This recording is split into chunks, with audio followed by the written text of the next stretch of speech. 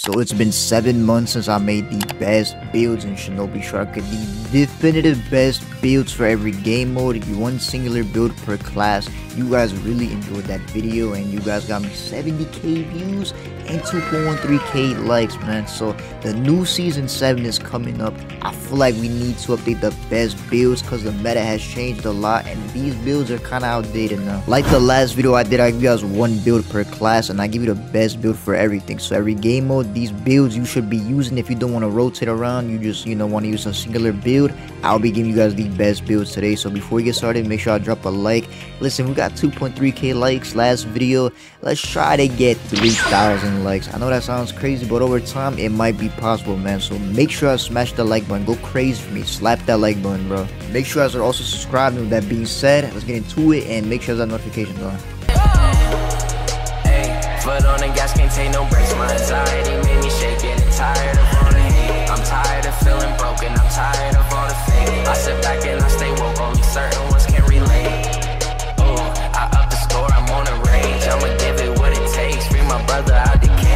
we're starting out with the attack class. The chakra claws are the weapons you want to be using for this, but if you don't have the claws, you could buy regular claws at the 1010 shop, so you could get this with cheap Ryo. So if you got like 500 Ryo, things like under 10k, you could buy this. So if you don't have the chakra claws, you could use these, but the chakra claws are actually in the shop right now, so I definitely recommend them a lot. You'll be a way better attacker with these.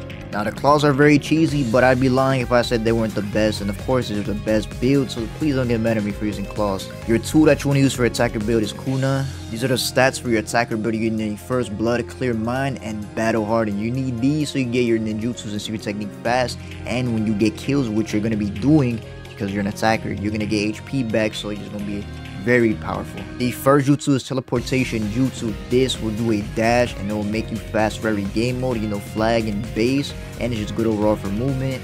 And then you will get a ninjutsu buff. You'll also be getting the Oboguma speed boost, the swift steps buff, so that's very good as well. Now your second jutsu is Almighty push, almighty push will push enemies away from you, get rid of super armor and stuff like that, and it has an 11 second cooldown. So with the teleportation buff, this will do like 40% HP, and it's really good for every game mode. Like I said, these builds are meant for every game mode. You just use one build for every game mode. So Almighty pushes OP. For the sub, you need time space hop. You'll be getting your ninjutsus faster. You will also be invulnerable to attacks and stuff like that. This is from the Sasuke defense DLC. Finally, for the ultimate, we got Kurama Link mode from the Hokage Naruto DLC. This will transform you and you will get a two-step attack. First, you transform, and then the second thing, you will get the fake Fox Blast, which will deal a lot of damage. You have probably seen this attack build already so many times, but it's a good reason why this build does everything. And like I said, these are the best builds for every everything. You want to play a combat battle, a base battle, flag battle, or even a survival. This build that I'm showing you for attack is perfect for every single one. You can move fast with teleportation. You can get rid of super armor with almighty push and stuff like that. You got kunais to get people off you, and you got a healing ultimate. So yeah, this build is super OP. You know you're a demon in um, combat battle, you're just moving around very fast. In flag battle, you're just easily capturing flags. In base battle, you're easily moving around and capturing bases. And in survival, you guys already know everybody uses this build. Um, I was one of the first people to use this build. It was kind of easy to make, but like yeah, it's a very popular build, and it's, it's, it's for a reason. It's just super good good. It does everything that you need it to do. And this definitely is the best build I feel like for attack right now. It just does too much. It's the current meta and I, it might be nerfed in the future, but it's still super OP.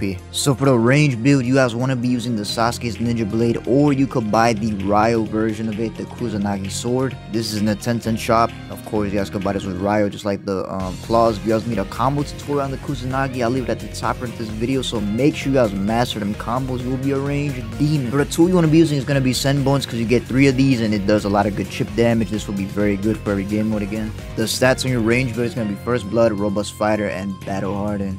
You want to have robust fighter on this so you can have more HP because ranges die very easily so you want to have, I don't know, more HP. For the first ninjutsu from the Madara DLC, Firestyle Majestic Destroyer Flame. I think this is the same build from the last video, it's just too good. They haven't really changed the range meta, but Majestic Destroyer Flame will always be good, it's just OP. The second jutsu is going to be Infernal Style Flame Lightning from the Sasuke range DLC. My sub, I got Time Space Hop again. Finally for my ultimate, I got Wind Style Sea Dragon from the Temari DLC. So again, like the last attack build, this is easily the best range build because you have a thing that destroys shields like Sand Shield and Water Pillar. You have Majestic Destroyer Flame. This is easily the best range jutsu in the game from the Madara DLC. You have Inferno Style Flame Lightning which pulls enemies, lowers their defense, and gives them burn damage which does a lot for a jutsu. You know, it does a lot. It's really good. It's OP. It's probably the second best jutsu of course. And then you have Senbons to do chip damage and you finally have the Temari Ultimate which will get a lot of enemies in there and make it easy for your team to combo or if you're in survival it would just be super easy to get kills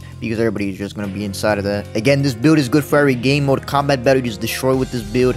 Um, base battle, you use this to pull out enemies from bases, and you know what I'm saying? Use the Majestic Short Flame, they got shields and stuff like that. And you also got flag battle. You're going to be helping your flag runner, the attacker, trying to get the flag. You got the pull, you got the Tamario, and you got Majestic if they're camping. So, yeah, this range build, of course, again, is easily the best build. You guys know I'm putting you guys on with the best builds. I do hope you guys have been enjoying them. But, yeah, this is easily the best range build currently at the moment. Now we move on to the defense class. For the defense class, you want to use Jet Black, Longsword, or any type of longsword, or any just weapon you want to. I definitely recommend the longsword though. It's just too good, easy combos, and yeah. For your ninjutsu, I recommend the super tough medicine. But if you don't have that, I recommend either blast bombs or paper bombs. One of these two. For stats, when you use first blood, clear mind, and battle harden, your first jutsu is gonna be Uchiha Flame Formation. This will be good for every game mode because you're boosting your defense and you're getting a barrier and also your allies. This is OP and it's meta. The second jutsu Celestial Air Slice Type 0 from the Minato DLC. This is good for doing combos and you know getting people inside of this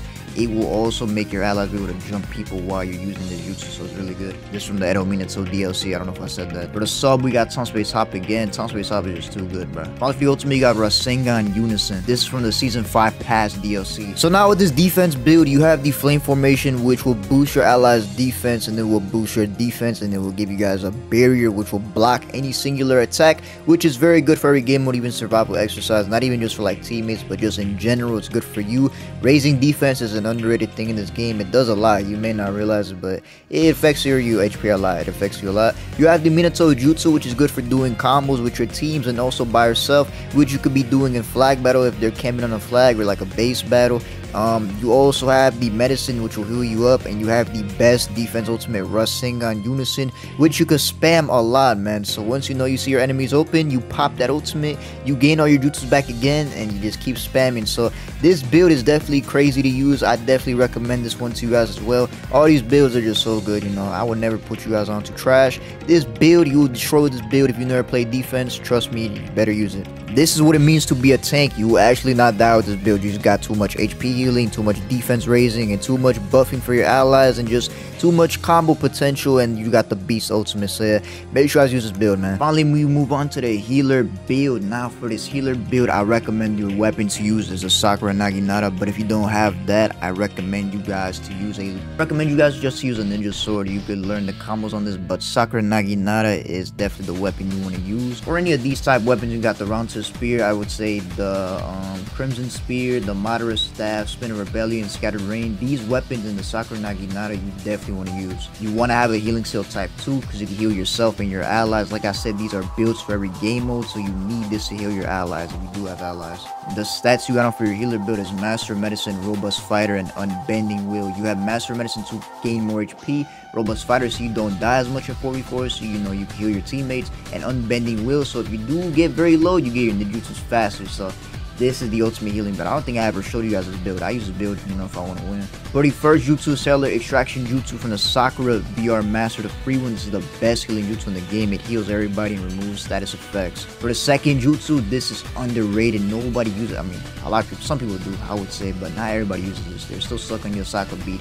Chakra Scalpel from the Kabuto Free VR Master. This will seal everything your opponent has and you get it so fast. It seals chakra jumps ninjutsu, and secret techniques. So you use this on the healer to get them low and not have healing, you're gonna just destroy them. And it's good for, you know, pits and stuff like that. For the sub, I'm using Yomotsu Hirasaka from the Kaguya DLC. This is so you can run away from stuff. Finally, for the ultimate, we have Izanami from the Itachi DLC. This is easily the best healer build for sure. These are all the best builds. I'm serious. I don't think I've ever showed y'all this build, but I've been using this build every time I want to win a combat battle. And this build is super good for every other game mode as well because you have Chakra Scalpel from the Kabuto VR Master, which will seal all jutsus, ultimate techniques, and Chakra Jump, which is very underrated because when you're doing a combat battle and you're facing a healer, bro, they're just not gonna be able to heal anymore. You know, you your team's gonna jump them. They can't use no jutsus, and once they die, you just use that on a different person, the chakra scalpel. And again, they have no jutsus. They're defenseless. They get jumped. Very underrated jutsu. Of course, we gotta have cellular extraction, the best healing jutsu in the game. We gotta have a healing tag for us and our allies. You know, we heal ourselves and our allies. We have the sub if we wanna run away and stuff like that, and we have Izanami, which could change the type of game. So yeah, this is easily the best healer build, and I don't know if I made a video on this, but I really should, bro. It's just too good. Let me know what you guys think though about these builds. I hope these builds do help you out on your journey to becoming the best shinobi on this game. Listen, man, y'all gotta go crazy and use these builds. If you do, you will become a goat. Trust me. Just watch more videos, maybe like an advanced movement tutorial and stuff like that. Maybe like some combo guides and use these builds. You will be a demon, man. But I hope you guys do enjoy this video. Hope you guys enjoyed. I mean, hopefully, you guys have a blessed night or day wherever you're at, and I will see you guys in the next video, man. Peace. Might just cop a coupe with no roof, I deserve it. I just looked inside the bag and told the plug it perfect. Diamonds perfect, got that working. Diamonds perfect, yeah, we work.